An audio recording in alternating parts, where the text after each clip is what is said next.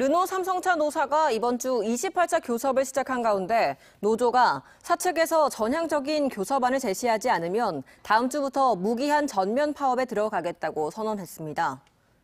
노조는 지금까지 임단협 교섭 자리에 사장이 한 번도 참석하지 않고 회사 쪽 교섭 대표도 두 차례나 경질하는 등 시간만 끌고 없다며 향후 위원장 단식 농성과 무기한 전면 파업에 나서겠다고 밝혔습니다.